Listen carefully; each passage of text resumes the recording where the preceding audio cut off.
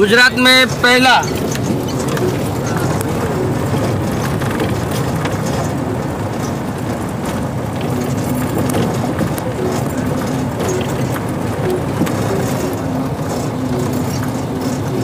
बताओ दूर तो तक दिख ही नहीं रहा है। क्या दुनिया आगे बढ़ने वाली सोचो। काम कितना बड़ा हो रहा है अंदर अंदर।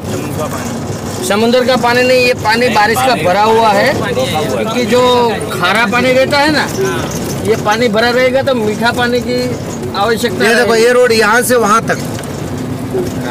ये पूरा एयरपोर्ट तक ये रोड जाने वाला है। यहाँ से वहाँ तक? हाँ। पूरा अंदर अंदर ही पूरा पूरा जाने वाला है। हाँ।